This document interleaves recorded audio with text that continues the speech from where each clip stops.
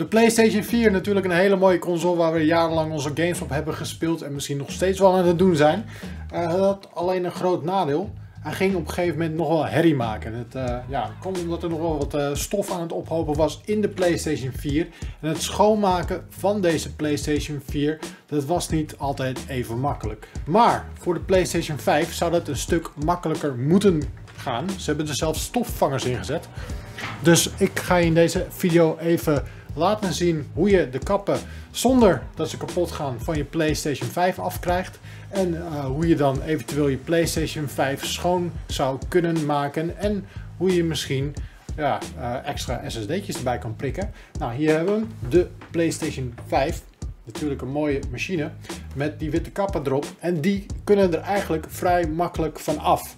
Um, maar ik heb eigenlijk nog nergens kunnen vinden hoe dat echt goed gaat. Want het is een blijf plastic en dat wil je niet breken, je wilt niet kapot maken.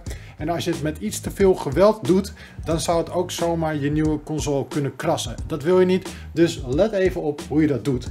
Um, de kappen zitten namelijk vast met schuifklipjes en met twee nopjes die aan beide kanten zitten.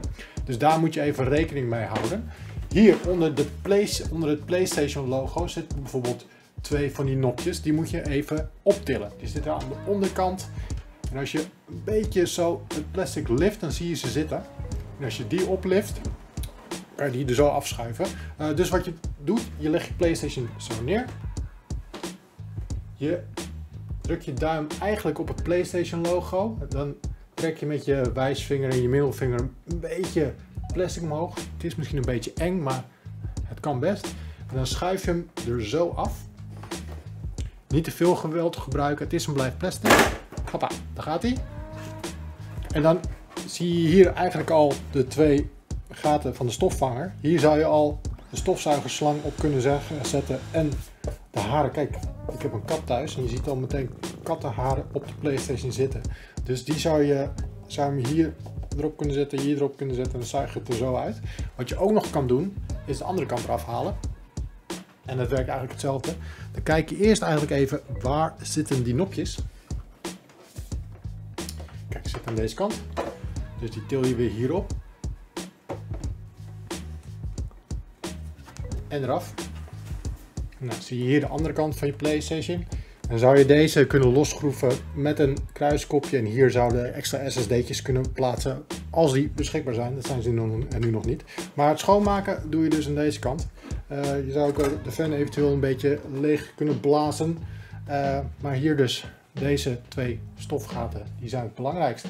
En dan uh, kan je hem eigenlijk weer in elkaar gaan zetten. Je kijkt natuurlijk eerst even waar zit die disk drive. Die zit aan die kant.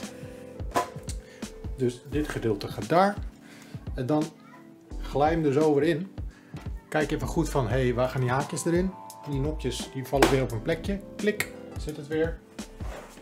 Omdraaien. Deze werken hetzelfde. Klik. En dan zit hij weer vast. Dan zitten de kappen weer op je PlayStation 5.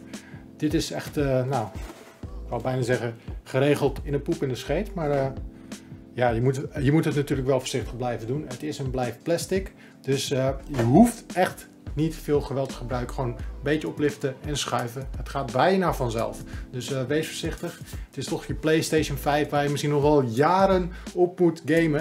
En je kan hem nu dus uh, ja, makkelijk en snel schoonmaken met die dust catchers die ze erop hebben gemaakt.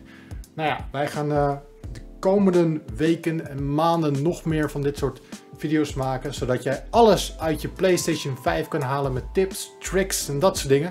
dat wil je niet missen, dus je zou ons heel erg kunnen helpen door te abonneren op dit kanaal. Dan mis je sowieso die video's niet. En dan geef je ons de mogelijkheid om meer van dit soort video's te maken. Uh, heb je vragen over de PlayStation 5? Drop die in de comments en dan kunnen wij er misschien ook wel antwoord op geven.